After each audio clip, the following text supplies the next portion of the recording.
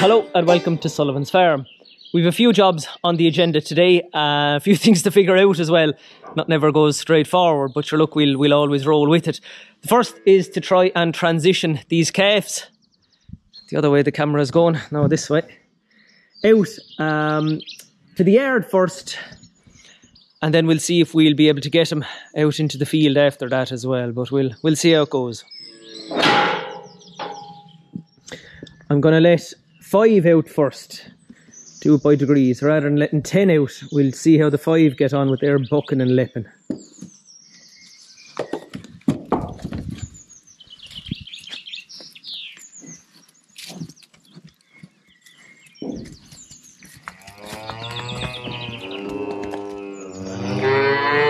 One of them's having a think about it, and the other five are wondering what's going on.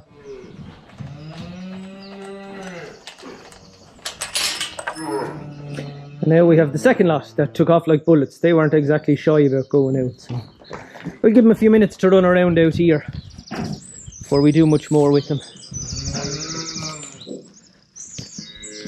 A few of them gone up to see the other Friesians up there too.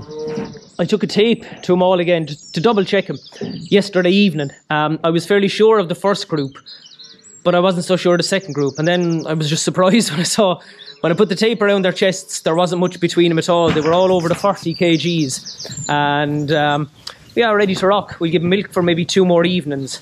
And that'll be that. While they're having their little run around, I can put a bit of lime and straw under the the two pens inside because there's a kind of a switch in the team happening around here too. The Friesian heifers from the third span down there are moving out here so the easy. The the ten black Anguses can go off out into the field and come into the, the third span if they want in the evenings or in the nights.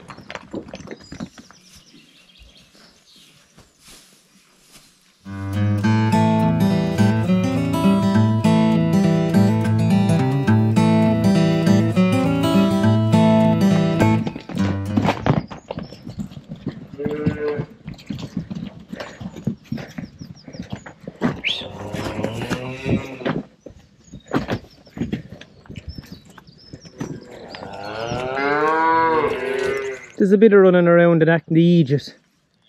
And two have disappeared up there someplace, so we better go find them. But other than that, it was only the usual kind of old thing. They're only going for a run around, they'll be back. We've 10 back again now, so we'll leave them alone for a few minutes anyway. Try and get ready to, to shift the other ones over to the new pen. We give the Friesian heifers a chance to have a little run around the yard before they go into their new straw bedded, freshly straw bedded accommodation. Get them used to the, the running a little bit too. We've set up the gates here now so the calves, they're in the distance, still doing a bit of running around and walking around, can go back in here to the third span in the evenings or well, they be getting milk for the next two, three evenings anyway.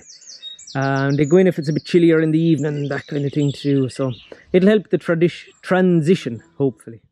A bit of a milestone then. The first of the calves are out this year. That lightens the load a little bit inside. As I said, they're not fully weaned, but a few more nights or a few more evenings of milk and, and that'll do them. They, they still have the option of going inside. And that'll help with herself taking over on Sunday evening. I'm bringing the lads, the young lads, and my mother to the hurling match in Cork on Sunday. Uh, herself said she'd feed the calves, so she was over during the week, seeing the carry on, um, and the messing and the jumping and the carrying and all that kind of stuff. So Oh, sorry. it's good for your skin, apparently.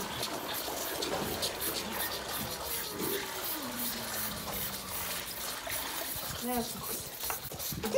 sorry. You got a shower in. no better woman than herself. I trust her completely. Um, I don't have much choice in that matter, but she'll be over. And I suppose it's it's just a reminder to me to take more time away from the yard. I'm over and back here twice a day, 365 days a year at least. Feeding in the morning, feeding in the evening, feeding calves in the morning, feeding cattle in the morning and evening, all that kind of carry on. So I just need to take a little bit of a step back and let herself at it and let the eldest, he's 14, he's well able as well. And it's just a reminder, life is short. So we all have to take a time away from the yard, no matter how much you think you enjoy it anyway. When the calves have finished running around and a few more have got, got a shock off the fence that, I'm going to set up a few white stakes and a reel here because the calves obviously don't need the whole field. Um, but what do needs the whole field or the rest of the field will be the bigger cattle down in the, the near knock at the moment. We're going down to see them in a minute and, and shift the fence and shift them down there. Or maybe shift them. We'll see how much of a residual is left there when we go down. But grass growth slowed down an awful lot in the last week, so it's it's not exactly there's not managing an excess of it is not an issue at the moment. What I've been at an hour here and an hour there as well over the past few weeks is a bit of cleaning in here. You can see what it used to be now. The lighting is very good at the moment because we have a kind of an open plan. The snow a couple of years ago knocked in the roof, um, so I took down a few sheets of that during the week as well, so we can let the dog see the rabbit. Um, but yeah, that's that's kind of it. There's one side, pit itself. It was a five unit parlour. It was supposed to be six, but there was a, some kind of a miscommunication between the design and the builder uh, 40 years ago. So it was always an ever a five unit parlour. So I'm not going into that again now. I, I've spoken about it before. I don't know if it'll ever be a milking parlour again, but it did need to be cleaned out. There was just stuff and dirt built up and accumulated over the past 20 years. So that needed to be done. If it doesn't become a milking parlour, then we'll just fill in the pit and then try and convert it into calf housing or something like that anyway. But whatever happens, it needed to be cleaned out and I've made a start on it. So when there's something to talk about or something to report on, whether I'm going milking or not, I'll let you know.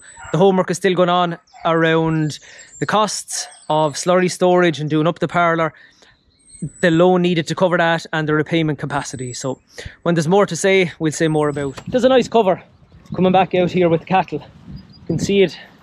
This is the first quarter they went into. We divided that one, that's where they were the last day. And we come out here and now we're here. If they get out of the way, you could see it, but they're very rude. They wouldn't get out of your way. They think they're going to get a move again, but uh, I'll give them a few more hours to think about it and maybe clean off a few more of the bits and pieces. It isn't, it isn't great now. Grass is probably a bit strong on it and, and they're kind of making a face at it, but as I said, we'll give them a few more hours to think about it and um, we'll see if they have a different attitude then.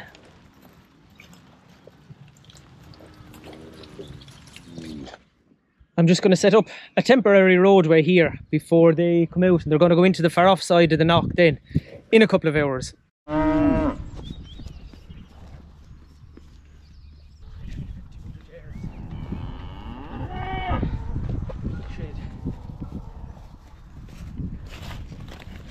The temporary roadway is set up. The plan would be that this would be a permanent roadway with stakes and wire along there to give access to the far off side of the far off knock um, which sounds like it's in in you know miles and miles away but it's actually only about 300 yards from the the main yard here the yard at the road and say that would be the the roadway out to the far off side and then you come around here and the yard is actually just there and there would be a roadway from here then we take down this gate and a roadway back to the gap in the distance there. So that would make it easy then to access the near knock the couple of paddocks there and then I think we'll break the far off knock into four paddocks.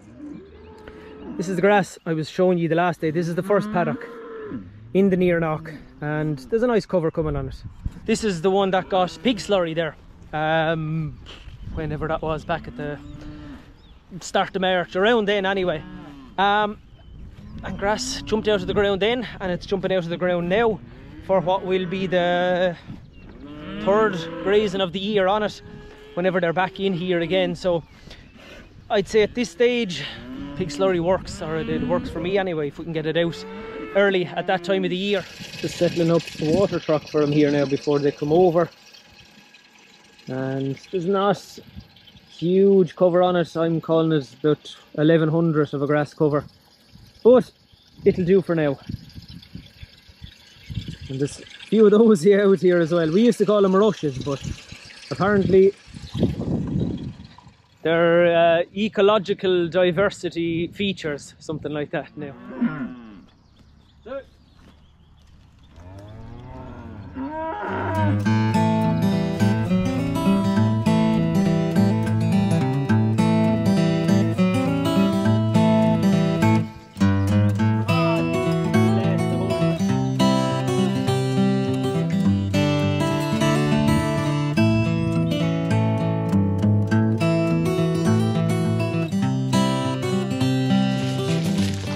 They seem happy enough with the move so far, anyway. They're grazing a bit. Heads down, isn't that what they say?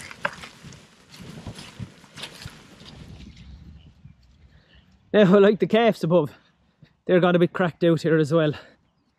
But they'll be happy enough. There'll be no fear of them for a few days anyway.